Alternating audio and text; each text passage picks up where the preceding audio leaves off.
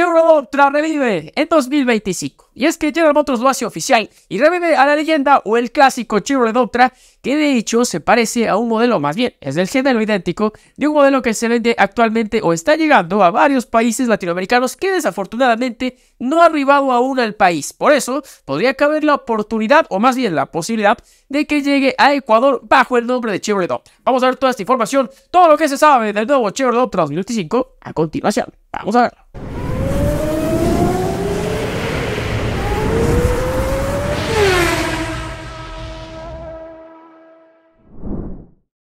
General Motors celebró hace pocos días un hito en su planta en Egipto, y es que llegaron a producir un millón de unidades. Con casi 40 años de historia, esta fábrica se ha destacado por la fabricación de vehículos comerciales de Chevrolet. Sin embargo, utilizaron este importante acontecimiento para anunciar el regreso del sedán económico Optra, ahora en su siguiente generación. Este nuevo Optra no es un desarrollo completamente nuevo, sino una adaptación del Chevrolet Aveo Sail ya presente en América Latina que aún no ha arribado a Ecuador. Aunque comparte el nombre de Optra, su base es la misma plataforma utilizada para los modelos en otros mercados. El anterior Optra egipcio, recordemos que fue basado en el Baojun 630, que dejó de producirse allá en 2023.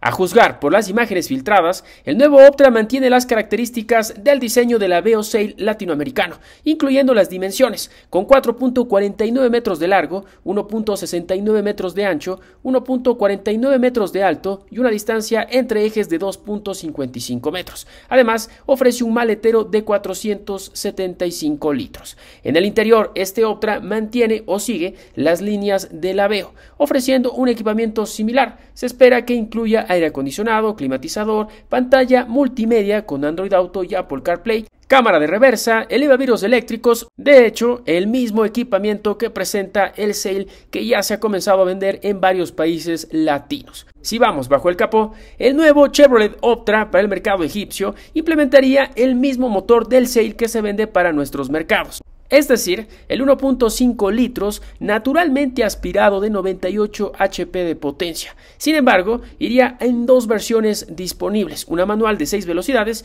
y una CBT. El nuevo Chevrolet Optra llegaría al mercado egipcio a principios del 2025, aunque General Motors no ha anunciado oficialmente sus planes de exportación bajo este nombre para América Latina. Sin embargo, recordemos que este modelo todavía no ha arribado al país y aunque se espera que llegue bajo el nombre de Chevrolet Sail, podría sorprendernos y, ¿por qué no?, traernos bajo Chevrolet Optra para este próximo año.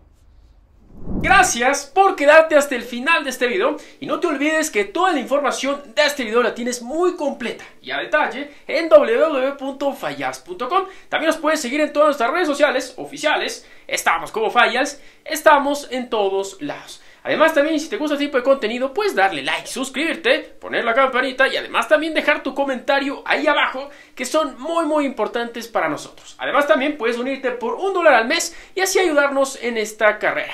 Yo como siempre soy Carlos Ruales, esto como siempre estuvo Fallas, mis amigos, y nos vemos en un siguiente video. Bye.